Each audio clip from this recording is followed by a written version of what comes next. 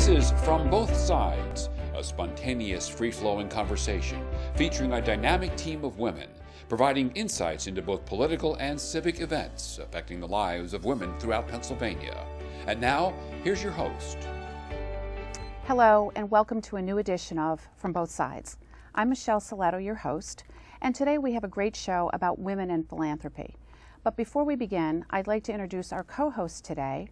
Um, she might recognize her from being the co host on Behind the Headlines, and more importantly, she's an FOM, friend of Michelle. I'd like to introduce Maura Donnelly. Maura? Hello, Michelle. Hi, thanks for being here. Well, thank you very much for having me. I'm looking forward to our discussion. Um, today we're going to talk about philanthropy. And when we think about a philanthropist, we think about someone who donates their time, their effort, and generally some pretty significant financial resources to the welfare of others and to good causes. Today we have a woman who exemplifies the definition of philanthropist. It's my pleasure to introduce today Jeannie Arnold. Jeannie, welcome. Thank you, Michelle. It's great Thank to have you, you, here. me. Thank you. Um, I, I just want to start off, Jeannie, by saying, wow, you have done it all. I almost don't know where to start, but I'm going to start by just naming a few of the causes that you've supported um, Penn State Hershey Medical Center, the Children's Hospital, United Way, domestic violence, the Alliance Project, early learning, and the National Boy Scouts of America, which is one I really want to get back and talk to. So I would like to delineate all of your causes, but if we did, we wouldn't have time for the show. We'd still be listing them. Um, so your your philanthropic work is so uh, extensive. Could you just start out by giving the viewers a little bit of a sense of your background and kind of how you came along this journey to uh, arrive where you are today? Well, my background is I'm a native of Rhode Island and uh, lived in a small town called Foster, Rhode Island. My mother worked for a physician, and my father was a mechanic at a printing uh, press plant in Providence, Rhode Island. I always wanted to be a nurse. That was what my career was. So I went to Rhode Island Hospital School of Nursing and graduated from there as an RN with a diploma. And from that point on, continued to work in my career at different levels. First as a staff nurse, then as an assistant head nurse, then a head nurse, and then eventually was asked to be an assistant director of, of nursing and then finished with my final career, which was Senior Vice President of Patient Care Services at the Good Samaritan Hospital in Lebanon, where I met my husband, Edward Arnold. Oh, that's wonderful. Yes. That's that's um. How did you get from Rhode Island down here? Was were you making career moves and uh, while I mean while you were doing career advancement, were were you moving around? I had gone from Rhode Island to Pittsburgh when I was married before. We won't talk about that. Okay. uh, that's not a good story. But anyway, I so I was in Pittsburgh Okay. and then relocated to the Lancaster area, not because of my career, but because of my ex-husband's career. Okay.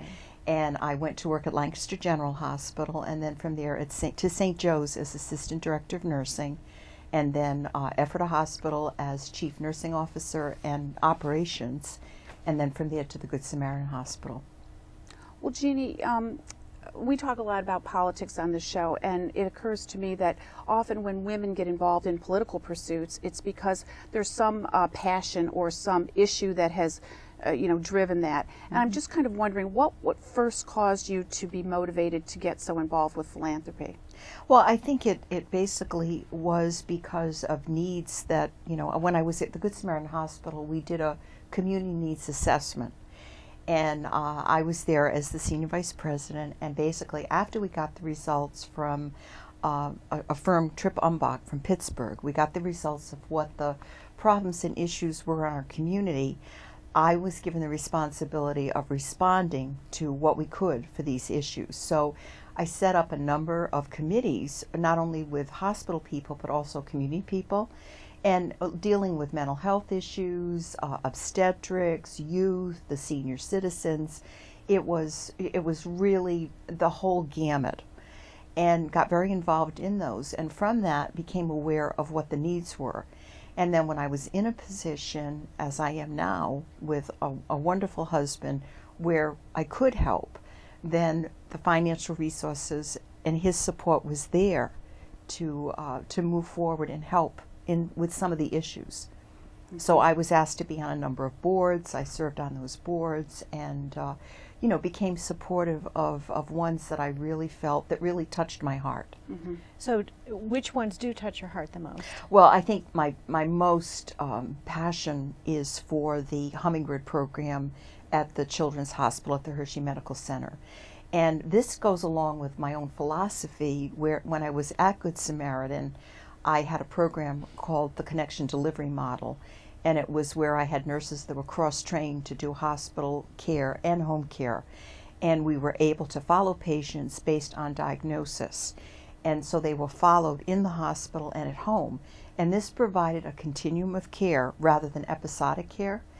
And the same philosophy is what the Hummingbird program is all about, where these children have life threatening conditions. Ed and I met with mothers that have gone through just tremendous problems with these very critically ill patients. And this program really oversees and provides care and oversight for inpatient as well as outpatient for these children. It results in less readmissions to the hospital, quality of life issues, better patient care, and there's a team that is constantly monitoring them. So if the children have to come back into the hospital, they don't have to tell their story over and You over. don't have to start from the square team one. knows right. it. Yeah. You know, and that's so much more efficient. You know, it seems like that model ought to be used in other areas too. Um, from having my mother, who lived with me for many years, having some serious medical issues in the last few years of her life, it seems like that type of approach would have been beneficial for her as well. So I don't know if they do any of that for seniors, but it certainly would be something that I think they should follow your example of the hummingbird program. I think I think it's a perfect model, and it really benefits so much the patient, the family, and and it's beneficial back to the hospital because of you know keeping costs in line. Uh, I think that many of the HMOs and different healthcare providers are trying to do that. I know our personal family physician tries to do that in his office setting, so it's it is helpful. So, if an organization approaches you um, or has you come in to learn more about them, do you have a certain set of criteria that you look to in, in, in order to make a determination of whether you'd like to support it? Or do, do you just have to be touched in your heart? Is there any, wh- what goes on? What's the thought process in, Well, it's in funny. helping an organization? It's funny because my husband says I never met a charity I didn't like.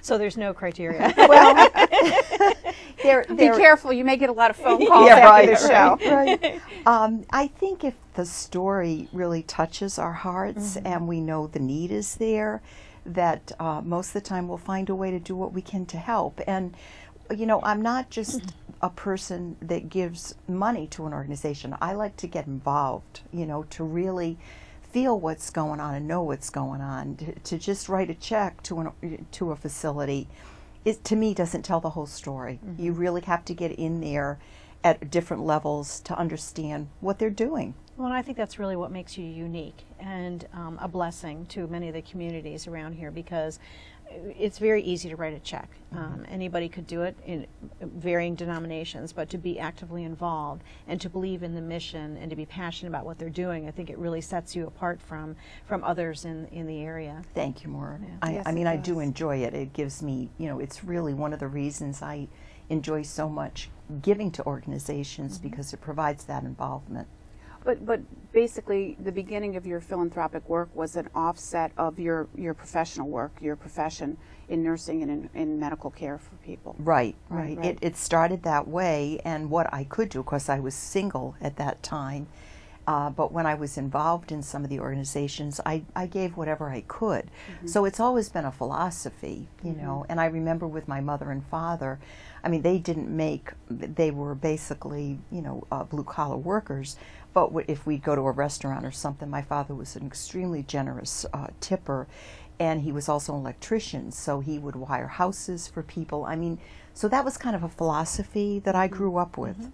Well, that's a that's a really good point because your father would give of his time, which can be just as valuable as writing a check. And I think that's Yeah. what a lot of young people need to learn that it doesn't have to be um, money. You can donate your time. Absolutely. Which people do volunteer work, which is uh, can be just as valuable to an organization as as writing a check for them. Oh, I, I totally agree with that. I think volunteering and helping in many ways is another way of, of giving a different type of capital, your own personal capital, mm-hmm. that you're taking the time to do that. And then ultimately, as you progress and become more uh, in a, you know, an area where you can donate, that's the organization that you're going to be, you're going to be giving to.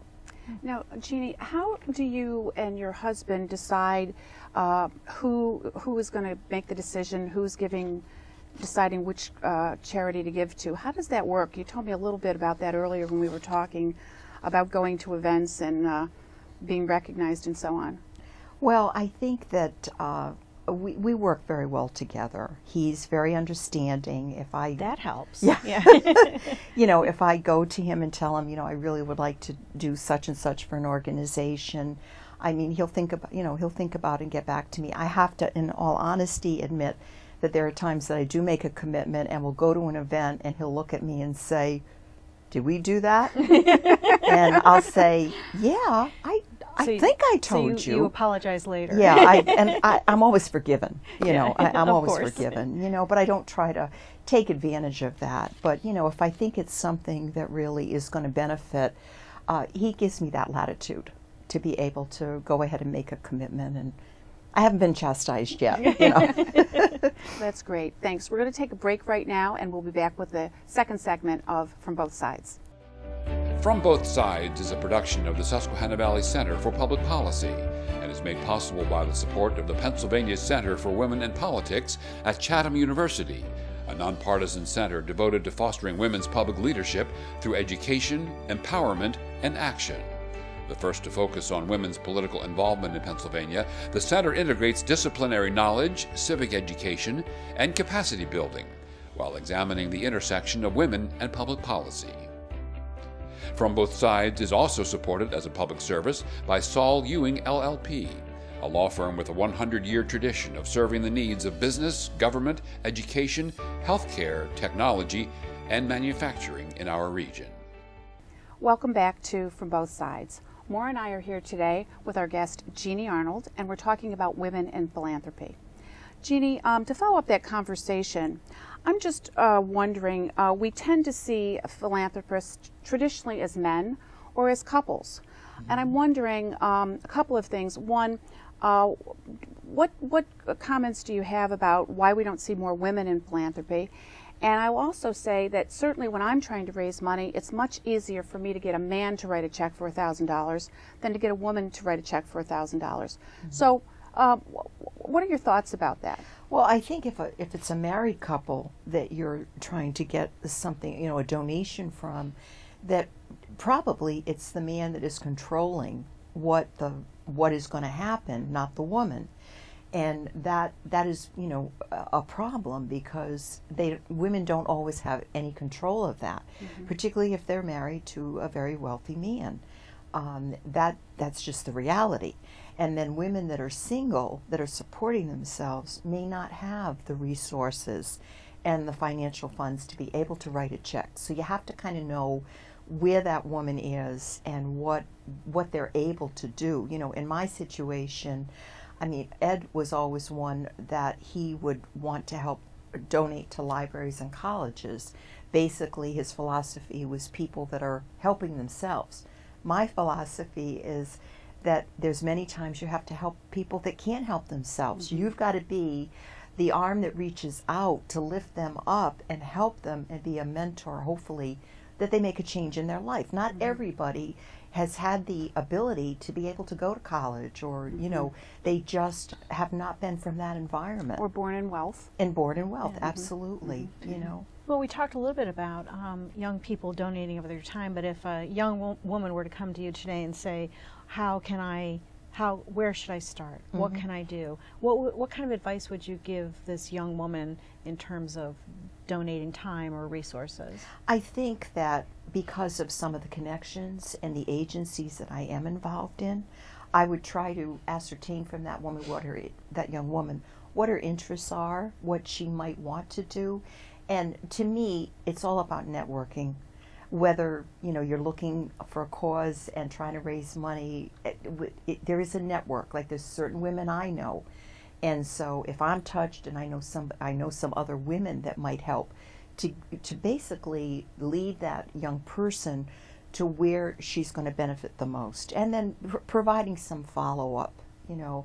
Ed and i have helped many that are trying to improve in, in a career you know it's it's a matter of what they're interested in and where they want to go and then of course making the connection with the organization mm-hmm. or the agency but encouraging them to do something you know if you have this desire then you need to step out there right. and get involved i love that you said you would follow up you you wouldn't just say what do you like okay go over here you would right. want you'd be interested in knowing how what they did with that information and and what they're doing with the information Absolutely. I, I think we need more people who would who want to do that follow up because I think that's encouragement to anybody who's just trying to find their way in terms of donating time uh, right. to an organization and following up with the agency too right is it working because it's got to work for both sides mm-hmm. you know if it doesn't then you know you're it's a waste of time for the agency to put their time and energy into somebody to volunteer and also from the volunteer side. Mm-hmm. Um, how do you think the face of philanthropy would change if more women were involved? I personally think that it, well, I think women can do a lot. You know, when we do get together and we have a mission, we can really move forward. Um, I, I do believe that there'd be more sensitivity to more more more overall issues. Uh, that's my own personal thing, just by watching and being involved with men in meetings and. Um, many times, you know, I just feel that you know women come, they they have a purpose, they get right to it, to the agenda.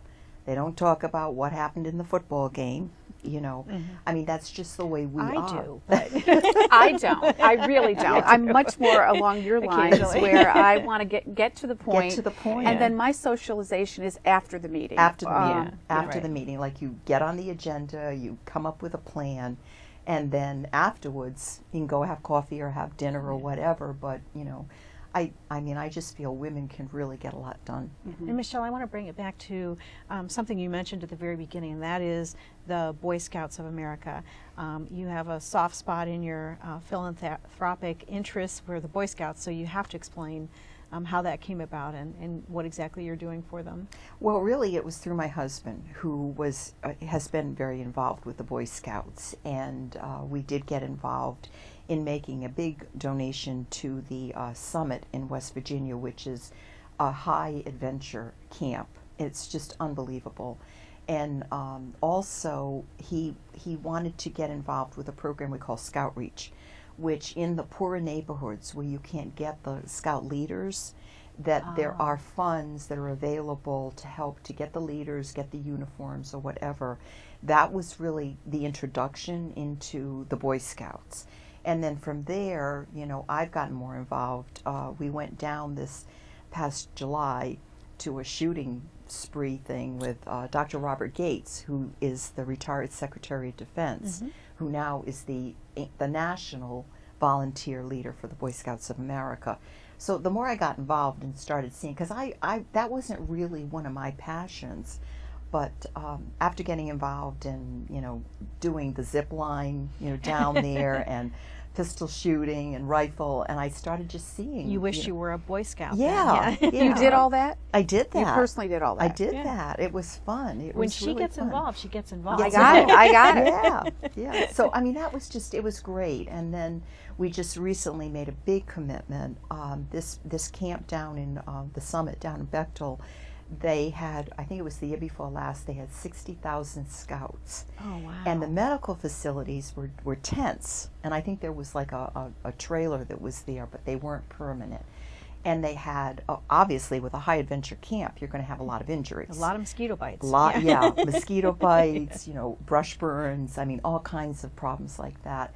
So now they want to build a permanent facility. And one of the things that really I'm very excited about is Dr. Gates wants to use that camp for injured warriors when oh, it's not being used for the Boy Scouts. So that really touched both both of us. Mm-hmm. So we've made a big commitment to that. Um, we went and announced our gift, and then after the meeting, I was asked to be on the board of the Boy Scouts of America, which is a tremendous honor, really is. Well, I had no idea women were on the board at Boy Scouts of America. There were women uh, back in the early 80s. There were some women on the board. Currently, there aren't. So I will be the only woman on the board. Oh, congratulations. yeah. I'd like to be at one of those board meetings. Yeah, That would very it's all men. interesting. Very interesting. Yeah, so I'm looking forward to it. I really am. And and you know, I was very pleased because they asked Ed if he was okay with this, and he was. So, you know, I, I feel very honored. I really do, and I'm looking forward to it. My first meeting will be next week. Um, well, you know, Jeannie, everybody, no matter what your wealth, does have a limited amount of money. So, how is it that you really try to put things in perspective in terms of? I'm sure you get a lot of people asking you to be involved and to contribute. So, how do you really make those determinations? Do you? I know you said some of it you do on your own, some of it you do together, but um, does it just get the list just get really hard to manage? It it is a long list that we've donated to, and uh, and we're blessed that we can. You know, I I mean, we really enjoy doing what we're doing. I think that for for both of us, it is a relationship that ends up building with an organization. It's not just the organization, it's the people. Mm-hmm. And when you really feel like they do care, that you're not just a, a bank, mm-hmm. that you do care about what they're going, you're interested in their mission and their goals, that it becomes something very, very personal. They become friends. Mm-hmm. And those are the organizations that we continue to be very supportive. And obviously, every organization, to keep themselves fresh, is going to have more projects and mm-hmm. more things that they want to do. Um, what I don't like is when you do make a donation and it's something for an annual, you know, contribution and you don't hear anything mm-hmm. for a year Oh. until that time comes up and then all of a sudden there's a phone call will you underwrite such and such? and we need it by you know two days. I mm-hmm. mean those that's happened with a couple of organizations that quite frankly we've backed away from mm-hmm. because that's not what it's about. Mm-hmm. So the organization has to be able to fulfill some of the donors needs mm-hmm. and get to know you as a person. Uh, the boy scouts is a tremendous example. We just recently were in sweden. The king of sweden is the international volunteer so we were there. We had dinner with the king at the palace. I mean, now that's obviously, you know, there. Not every organization can do that, but you feel like you're special. Mm-hmm, mm-hmm. And and we've made a big commitment to the Boy Scouts. Mm-hmm. We have to the Hershey Med Center. We're included in many many things with Penn State, not only at the hospital but even the main campus. So that's you know those are the the organizations you want to continue to to help. I think that's good advice for any organization or any group of people who are uh, trying to raise funds and work with donors because um, you- Donor you, management. You do want to have a Yeah. good relationship because uh, just as you're important to them, they are. I think we're finding out by today's interview, they're important to you as well. Absolutely. I mean, it becomes part of, if you want to say, like an extended family. I mean, both Ed and I, you know, we, we have many, many friends, and it's been because of getting involved with the different organizations and their response to us. Well, what is one of the biggest challenges that you face um, in doing all this work? I mean, it sounds like you couldn't possibly have any time to sleep. So, what's one of the biggest challenges that you have in doing this kind of work? Well, I think you really hit hit, hit it. It's time management. Right. Uh, because, like right now, Ed and I would love to go on a cruise or go somewhere where it's warm. and really, you know, we, we, we really are kind of tied up for the, these past couple of weeks between the Boy Scouts and we, we're on the, I'm on the board of Lebanon Valley College. I mean, so if you're really going to commit yourself to an organization and take positions, you have to be you have to be accountable and you have to be present. So we, you know, we many times can't travel the way that we might want to, mm-hmm. and that's something we really have to take a look at. you know. Well, Michelle and I both have served on, on boards, and nothing is more frustrating than being there, being present, doing your best to help, but having a lot of people who don't show up. Oh, yeah. And it sounds like you put that effort into being, if you've made that commitment and made the, and, and have that obligation that you are going to be there. And I think that's one of the things that young people should know. Don't make the obli- the commitment and not follow through on it. You have I mean, to. You if have it's just your time, even you, you know, if you make it, then you need to do it. So. Well, one of the things I do want to ask you, in addition to the time management and all of the wonderful causes you support, um, I understand you're interested in starting to work on a Broadway play. so, so other than all of that work, the all of your work for good causes, you're also doing some other things that are fun for you. So, I'm interested to hear about that. this is this is so exciting. Uh, and it, it happened because I was attending a charity event in New York City at the Lincoln Center. And I was sitting next to these two gentlemen, and uh, it was black tie, you know, and I turned to both of them and asked them what they were what they did and they proceeded to tell me that they had purchased the rights from Paramount to produce the First Wives Club as a Broadway show. Great. So I said, "Oh my gosh, you know, are you looking for investors?" and you know, and this was like just a small investment at the time. And uh, Paul Lambert, who is one of them, he said, "Oh my gosh, yes, we are." And so I went home, and Paul called me the next day, and he said, um, "Can I come and see you?" So he did, and I wrote my check and gave it to him. Uh, what I didn't realize is that they had run out of money to continue to have the rights to do the show with Paramount. And my check is what helped them to continue to have the rights. So I've been very involved. And then um, most recently, you know, Ed, Ed has been, been involved too.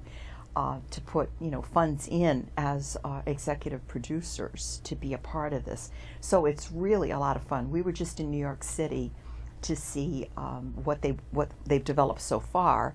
The cast is on their way right now to Chicago because it opens in Chicago. A soft opening. I'm learning all these things. Uh, a soft opening February 17th, which during that time things can be changed. The script can be changed based on the audience's reaction, the critics' reviews. But then after that, as of March 11th, that is the official opening.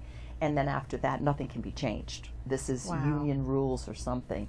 But anyway, so this is really exciting. And, and um, Paramount, one of their criteria was that Holland Dozier and Holland, who are the men that wrote all the great Motown music, like Stop in the Name of Love, Reach Out, Sugar Pie Honey Bunch, oh, they've written, yeah, they've written the songs. What It's- fun. yeah, it's great. It Yeah. really is. So you know, we. I mean, and that's another reason why we haven't been able to travel because we went up to, mm-hmm. which was fun. Yeah. We went up to New York and we saw where they are with that, and we'll be going to Chicago in March uh, for the opening. I wish it was a little warmer, but well, that's terrific, Jeannie. Thank you so much for joining us. We, I think we've learned a lot about Yeah. philanthropy, and we've learned a lot about the causes you've supported. And I just want to close this edition of From Both Sides by saying thank you for joining us. And as we all know, as women in Pennsylvania, there's much more that unites us than divides us. Thank you, and I hope you'll join us next time.